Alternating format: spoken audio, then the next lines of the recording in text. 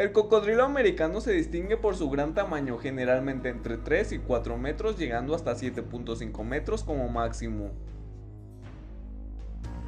Llega a pesar hasta media tonelada. Posee un hocico largo y estrecho. Su dorso es de color verde y su parte ventral es grisácea a blanca. Son reptiles muy evolucionados y con sentidos bien desarrollados.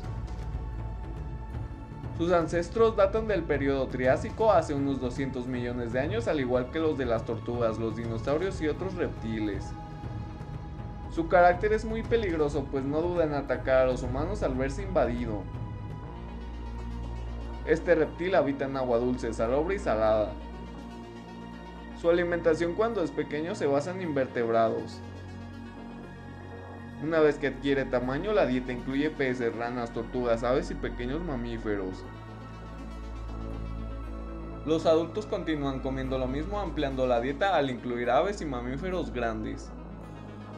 Esta especie está en peligro de extinción debido a la destrucción de su hábitat y a la caza indiscriminada. Para tratar de revertir esta situación se han establecido criaderos con fines de reintroducción, repoblación, ecoturismo y educación ambiental. El ejemplar más grande en cautiverio de que se tiene registro era un cocodrilo llamado papillón, el cual se encontraba en el área zoológica del Parque Museo La Venta en Villahermosa, Tabasco, México, donde vivió por más de 40 años, murió el 21 de enero de 2014.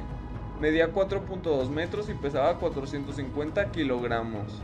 Tenía alrededor de 80 años. Papillón había escapado tres veces de su estanque. En una de esas ocasiones fue lastimado por algunos pescadores, los cuales lo dejaron casi ciego. Actualmente aún puede ser observado ya que fue disecado y se encuentra expuesto en una sala especial donde puede seguir siendo admirado por su gran tamaño.